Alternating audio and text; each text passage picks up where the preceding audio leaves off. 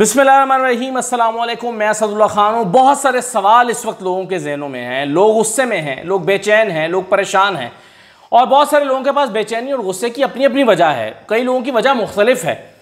मसलन, चलें, आज हमज़ा के को वज़ी अला बरकरार रखने के लिए जो कुछ किया गया, कानून की जो धज्जियाँ उड़ी, वो तो उड़ी। लेकिन इसके अलावा भी बेचैनी की बड़ी वजह है। मसलन कारोबारी तबके को इस बात से कोई गरज नहीं है कि हमजा बनते हैं या परवेज लाई बनते हैं।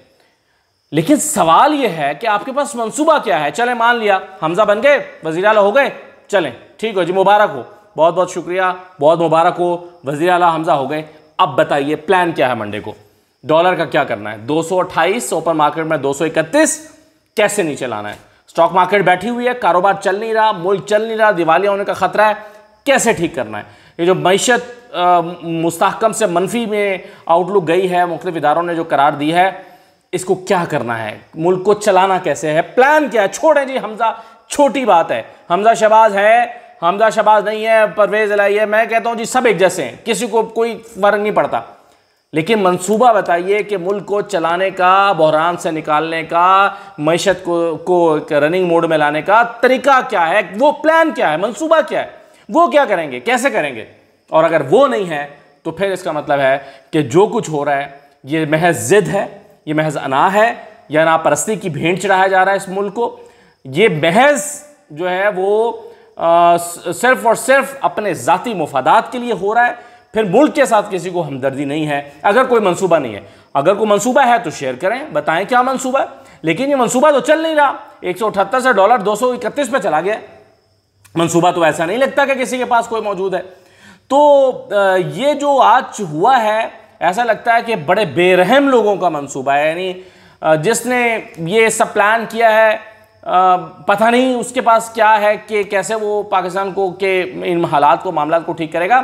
क्योंकि लोगों का कहना यह है, जो जो कारोबारी हजरात हैं, जो पाकिस्तान के मुख्तलिफ़ स्टेक होल्डर्स हैं जिसने यही पाकिस्तान में रहना है, पाकिस्तान से कमाना है, पाकिस्तान से खाना है वो कहते हैं कि जब तक इलेक्शन नहीं होंगे, चीज़ें ठीक नहीं होंगी। जब तक हालात ठीक नहीं होंगे, जब तक ये एक पाँच साल के लिए मुंतब हुकूमत आकर अपनी एक मुस्तकिल पॉलिसी नहीं देती। आप यकीन कीजिए, कारोबारी तबकों में बेशुमार ऐसे लोग हैं जिनको इससे गरज नहीं है कि ये हैं या वो हैं। वो कहते हैं कि जी, हमारा जो है वो कारोबार चलना चाहिए। और कारोबार के लिए हमें पाँच साल की पॉलिसी दो। डॉलर ढाई सौ का करना है, कर दो, मगर उसको पता है, हमें हमें यकीन हो कि ये तीन साल के लिए या पाँच साल के लिए ढाई सौ रहेगा। हमें पता हो कि इसमें इस्तेकाम है, उसके मुताबिक कुछ प्लान तो करें। अभी तो आप कुछ प्लान नहीं कर सकते। अभी कि एक आपने एक घर बनाना है तो कोई कंस्ट्रक्शन कंपनी आपका प्लान आपका घर की, का ठेका पकड़ने के लिए तैयार नहीं है, वो कहते हैं कि कीमतों का पता ही है। आज सीमेंट की बोरी बारह सौ की है, कल चौदह सौ की हो जाए तो हमारा तो दिवाली हो जाएगा। हम तो कंपनी बैठ जाएँगे, वो कारोबार करने को तैयार नहीं है। मार्केट, हर तरह की मार्केट बैठ गई है, कोई एक्सपोर्ट ऑर्डर नहीं पकड़ा, वो कह रहे हैं, पता नहीं जी क्या बनेगा। तो हालात इस किस्म के हुए हैं और आज जो मज़ाक हुआ है, उसके कई कमज़ोर पहलू हैं। इन सारे कमज़ोर पहलुओं को आप देखते हैं तो फिर ऐसा लगता है कि मनसूबा साजों ने सिर्फ़ इसको ज़बरदस्ती बस कराया है कि इसको कराओ। बगैर देखे कि अदालत में जाके इसका क्या होगा, सुप्रीम कोर्ट से क्या होगा। उन्होंने कहा कि बस टाइम लो लिंगर ऑन करो। अभी फ़िलहाल आज जो है ना, वो आज का दिन धक्का दो, आज के दिन को गेड़ा लगाओ। सुबह हो गई है, इसको शाम करना है और इसको गेड़ा लगाना है और किसी ना किसी तरह से इसको करना है। अब देखें, इसमें कई कमज़ोर पहलू हैं जो मैं आपके साथ शेयर करता हूँ। और जो सवालात हैं, सबसे पहला इसमें सबसे अहम सवाल यह है कि किस बुनियाद पर आज जो वोट्स हैं उसको रद्द किया गया? एक बुनियाद पर। और बुनियाद ये थी कि जी चूँकि पार्टी हेड ने जो पॉलिसी दी, उस पॉलिसी से आपने डेविएट किया, इस वजह से आपका वोट शुमार नहीं होगा क्योंकि आपने पार्टी पॉलिसी से निराफ किया।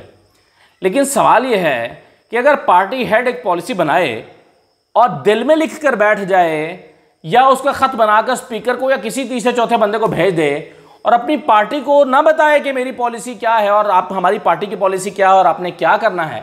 और वो पॉलिसी बनाने के लिए कोई मुशावरती इजलास ना हो, कोई पार्लिमानी बोर्ड का इजलास ना हो, पार्लिमानी कमेटी का इजलास ना हो और पॉलिसी दिल में सोच के या किसी से तय करके, किसी से डील करके आप वो पॉलिसी खत बनाकर और स्पीकर को भेज दें।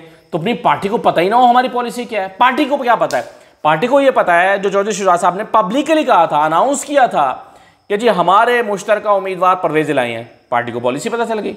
उसके बाद आपने पॉलिसी दिल में सोची चेंज कर दी। उसको पता तक नहीं है, और आप तो कर रहे हैं कि वो जो आपने दिल में सोचा है या एक खुफिया खत खत लिख के रखा है, वो उसके मुताबिक फैसला करेगा। तो भाई सबसे बड़ा नुकता यह है कि जिसने इनहराफ किया है, या जिस पर इल्ज़ाम है कि उसने इनहराफ किया है, उससे पूछे आपको पार्टी की क्या पॉलिसी बताई गई थी? तो भाई उसको पार्टी की यही पॉलिसी बताई गई थी कि परवेज राय हमारे मुश्तर उम्मीदवार है। और अगर आपने पार्टी की पॉलिसी चेंज की है तो क्या आपने उसको इतला दी थी पार्लियामानी पार्टी का इजलास बुला के? आपने अपने अरकान को बताया था कि जी, हमारी पॉलिसी चेंज हो गई है और ये पॉलिसी है। तो जो कि नहीं बताया गया। तो जब आपने वो बताया नहीं है तो आप कैसे इस खत को बुनियाद बना कर फैसला कर सकते हैं? दूसरा ये है कि अगर पार्टी हेड ने का चले एक नुकता और है ये तीसरे पर मैं बाद में आता हूँ। वो ये है कि असेंबली के अंदर एक पार्लिमानी पा, पार्लियामेंट्री पार्टी का हेड होता है। पॉलिसी उसके ज़रिए आती है या पार्टी हेड डायरेक्ट बताता है? यानी होता यह है कि पार्टी हेड एक पॉलिसी बनाएगा वो पार्लिमानी पार्टी के का जो हेड है जो असेंबली के अंदर होता है उसको बताएगा और वो असेंबली का जो है वो आगे स्पीकर को या रेलिवेंट बंदे को कन्वे करेगा। लेकिन यहाँ पर पार्टी हेड ने अपनी पार्लियामेंट्री पार्लियामेंट्री बोर्ड या पार्टी के इल्म में लाए बगैर डायरेक्ट उसको दे दिया तो दो खत हो गए। एक जो पार्टी हेड ने लिखा है और दूसरा पार्लियामेंट्री बोर्ड के हेड ने लिखा है, या पार्टी के हेड ने लिखा है, जो असेंबली के अंदर पार्टी है तो उसके हेड ने लिखा है। तो अब स्पीकर एक खत को मानना, दूसरे को नहीं मानना तो किस बुनियाद पर भाई?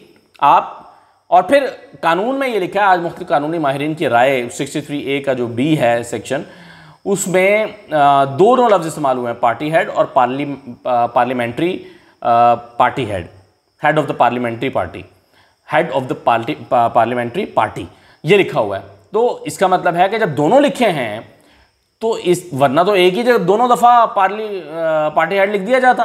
सादा सी बात है। तो इसकी तशरी सुप्रीम कोर्ट करेगी कि ये क्या मामला है। लेकिन फ़र्ज़ कीजिए, मान लेते हैं कि जी, ये पार्टी हेड ही ने करना है, या पार्टी हेड का ये इस्तेकाक और इख्तियार है कि वही पॉलिसी देगा।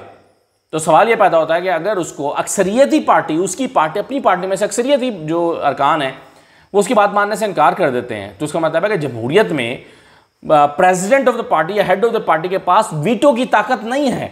उसने अपनी पार्लिमानी पार्टी के अप्रूवल या मंशा या मुशावरत के साथ करना होता है।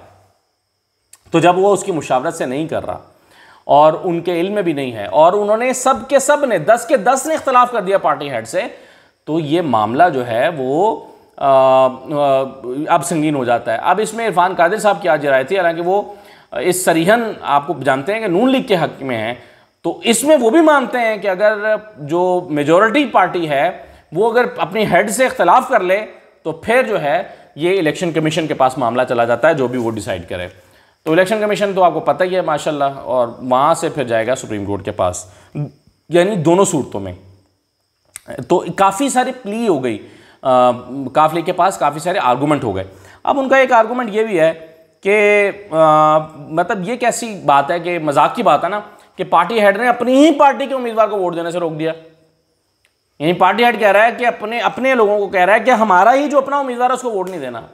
और इससे भी दिलचस्प बात यह है कि जो उम्मीदवार है, उसको भी इंस्ट्रक्शन दे दी है कि जी तुमने अपने आप को वोट भी नहीं देना। यानी ये कैसी मुजिका खेज बात है कि अगर फ़र्ज़ करें वो जो ख़त है, उसको दुरुस्त मान लिया जाए। और चौलीस शुरुआत की बात मान ली जाए कि जी वो ख़त जो है, उन्होंने, खैर उन्होंने कहा तो नहीं है, लेकिन चले, वो अगर कहीं आर्गूमेंट देते हैं मुस्तबिल में। तो और वो कहते हैं कि जी ये तो मैंने अपनी पार्टी को भी कन्वे किया था। तो क्या कन्वे किया था? परवेज अलाई से कहा था कि तुमने अपने आप को वोट नहीं देना, हमजा को वोट देना है। यानी एक बंदा उम्मीदवार है, वो उम्मीदवार अपने आप को वोट नहीं देगा, मुखालिफ उम्मीदवार को वोट देगा। कैसी मज़े की बात है, कैसी दिलचस्प बात है। मज़ाक है ना हमारा निज़ाम बिल्कुल मज़ाक बन के रह गया। तो परवेज अलाई साहब से आज दोस्त मजारी साहब ये एक्सपेक्ट कर रहे थे कि पार्टी हेड की राय के मुताबिक वो अपने उस उम्मीदवार को, जो कि वो खुद हैं, उसको वोट देने के बजाय हमजा को वोट दें क्योंकि उनके पार्टी हेड ने कह दिया। तो इससे बढ़ के मज़ाक हमारे निज़ाम में क्या हो सकता है? मेरा ख्याल है, इसको खत अगर ये जमहूरियत है ना, जो पाकिस्तान में जमहूरियत है, अगर इसका नाम जमहूरियत है, इसको फ़ौर ख़त्म कर देना चाहिए। और एक ऐसा सदारती या बदतरीन बादशाहत का निज़ाम कायम कर देना चाहिए। जैसे सऊदिया में मेरा ख्याल है सऊदिया का बादशाहत का निज़ाम पाकिस्तान के जमहूरी निज़ाम से बेहतर है। या चाइना का जो सिस्टम है जिसमें कोई जमहूरी निज़ाम नहीं है या उस तरह से वोट नहीं होते, बल्कि वोट होते ही नहीं है। उनका निज़ाम गैर जमहूरी निज़ाम, चीन का गैर जमहूरी निज़ाम, पाकिस्तान के जमहूरी निज़ाम से हज़ार गुना बेहतर है। जहाँ पर आपने जमहूर की आवाज़ को काउंट ही नहीं करना ना मतलब यहाँ जमहूर ने फैसला दिया सत्रह तारीख को। जमहूर ने फैसला दिया कि हम अपना वज़ीर अला तरीके इंसाफ से चाहते हैं, बाहर निकले टर्नआउट उन्होंने बढ़ाया, वोट दिया और फैसला दे दिया। ये जमहूर का फैसला है। जमहूरी निज़ाम में जमहूर यानी अवाम का फैसला होता है। अब जमहूरी निज़ाम में अगर आपने जमहूर का फैसला नहीं मानना तो फिर जमहूरी निज़ाम का करना क्या है? चार डालना है।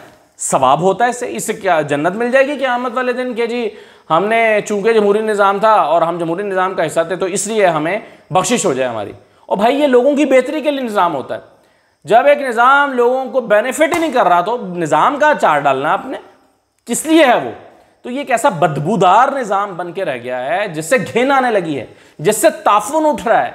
ये ताफुन ज़्यादा लाश की तरह हो गया है और इसको ज़बरदस्ती साबित करने की कोशिश की जा रही है कि नहीं, इसका सांस चल रहा है, ये लोगों को फ़ायदा दे रहा है, ये इससे जी बड़ा निज़ाम बना हुआ है। कहाँ की जमहूरियत भाई? कौन सी जमहूरियत? कैसी जमहूरियत? जमहूरियत रह कहाँ गई है यहाँ पर? तो ये अजीब गरीब सी मनतकें जो हैं वो की दी जा रही हैं। अच्छा दूसरा ये है कि एक दो सवाल और हैं मेरे। देखिए मेरा सवाल यह है कि जो शिकस्त तस्लीम कर ली गई, सत्रह तारीख को इलेक्शन हुए, नून लीग ने अपनी शिकस्त तस्लीम कर ली। उन्होंने कहा, जी, हम खुले दिल से शिकस्त तस्लीम करते हैं। क्या मतलब है इसका? इसका मतलब हम हार गए। इसका मतलब है कि ठीक है, ये चूँकि इंतबी वजी अला के लिए हो रहा था हमदा शबाज ने खुद सुप्रीम कोर्ट में खड़े होकर कहा था कि, जी, सत्रह के बाद करा लें। ये सत्रह के बाद वजी अला का इंतखब करा लें ताकि वहाँ फैसला दे दें। बीस में से कितनी सीटें जो हैं वो लोग इनको देते हैं, कितनी उनको देते हैं? अवाम फैसला दे दें हमजा को लगता था नौ मुझे मिल जाएँगी। उन्होंने अहतमाद से कहा। लोगों ने फैसला दिया कि नहीं? नू लीग ने शिकस्त तस्लीम कर ली। सत्रह तारीख की शाम को शिकस्त तस्लीम कर ली। बाद में फिर ये क्या हुआ? किसने मनसूबा बनाया? किसने जरदारी साहब को इस्तेमाल किया? किसने जरदारी साहब को कहा कि जाओ यार, ये करो, इस तरह तो नहीं हो चलेगा। फिर अगर पंजाब जाएगा तो फिर विफाक भी जाएगा। कौन एक्टिव हुआ? किसने चौधरी शुजात को राज़ी किया? क्या ऑफर्स हुई? चौधरी शुजात ने अपने ख़ानदान को, के लिए या अपने लिए अगर ये डील की तो कितने में बेचा पार्टी को? पार्टी को बेच दिया ना, परवेज अलह को बेच दिया, अपने भाई को बेच दिया जिनके साथ सारी उम्र मिलकर सियासत की। तो अगर उनको बेच दिया तो कितने में बेचा? कुछ पता तो चले चौधरी शाह साहब, कुछ बोलने तो सही, कुछ बात तो करें कि क्या हुआ। दूसरा ये है कि इस सारे इवेंट के बाद जो है, वो नू तहरीक इंसाफ मैं समझता हूँ मज़बूत हुई है। अभी आप देखें एहतजाज हो रहा है। ऐसा लग रहा है कि तहरीर स्क्वायर बना हुआ है, लोग बाहर निकले हुए हैं।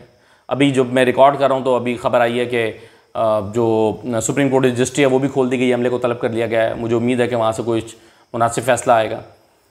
लेकिन यह है कि तहरीक इंसाफ को इससे फ़ायदा होगा, लोगों को गुस्से में इजाफा होगा। लोग समझ रहे थे कि हमारा किथारसिस हो गया है। सत्रह तारीख को उनको लगा कि हमारा गुस्सा ठंडा हो गया है। उनको फिर इश्ताल दिला दिया गया है। ये तहरीक इंसाफ को फ़ायदा देगा। अल्टीमेटली जाना तो इलेक्शन में ही है। जब भी आप दो महीने में, तीन महीने में, जब भी आप इलेक्शन में जाएँगे, ये साल तो आप चला नहीं सकते। तो जब भी आप इलेक्शन में जाएँगे तो उसका रिज़ल्ट नहीं निकलेगा। अगर 20 सीटों पर यह फैसला आया तो लोग आगे बाकी की सीटों पर क्या करेंगे? तो ये तहरीक इंसाफ को मेरा ख्याल है अल्टीमेटली हुआ फ़ायदा ही है और उनके वोट बैंक में इजाफा होगा। और लेकिन ये जो एग्रेशन है, लोगों की जो जुलझराहट में इजाफा हुआ है, लोग जो गुस्से में आए हैं, ये मुल्क के लिए अच्छा नहीं है, ये फ़ायदेमंद नहीं है। और आप चले ना, आप देखें कि कैसे आप मतलब वो जो जिससे मैंने वीडियो शुरू की थी कि प्लान क्या है? प्लान बता दें, छोड़ दें सारा कुछ प्लान बता दें। डॉलर कैसे नहीं चलाना है? एहतजाज कैसे रुकेगा? मीशत कैसे चलेगी? और चीज़ें कैसे बेहतर होंगी? कंस्ट्रक्शन इंडस्ट्री कैसे चलेगी? बाकी मामला कैसे चलेंगे? तो ये प्लान दे दें। अगर आपके पा, आपने ये सब करना है, कर रहे हैं तो प्लान दे दें ना कैसे होगा ये। तो ये होता हुआ नज़र नहीं आ रहा। बड़ी मुश्किल सूरत हाल पैदा हो गई है। बहरहाल, अल्लाह पाकिस्तान के लिए बेहतर करे। इजाज़त दीजिए। अल्लाह हाफ़